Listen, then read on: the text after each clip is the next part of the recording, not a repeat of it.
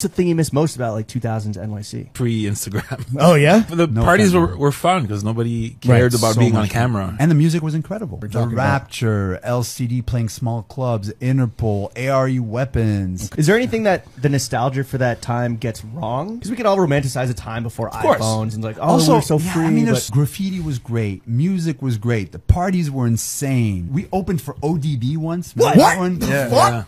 Why? Who fucked up that billing? No, it was amazing. It was us, ARE weapons, and ODB. What did ODB think of you guys? P struck a friendship with ODB's cousin Buddha Monk. Buddha Monk. Was Buddha Monk Wu Tang affiliated? Was he Very like, much so. Yeah, yeah. His Brooklyn favorite. Zoo affiliated. We had just done a profile on him in Vice, and we convinced him to come and do this Vice showcase. And yeah, we opened for him. I mean, these things were insane. I, I look back very fondly to that era, minus, you know, some like we said, questionable uh, clothing choices. okay, but back Right, right. then it was fire.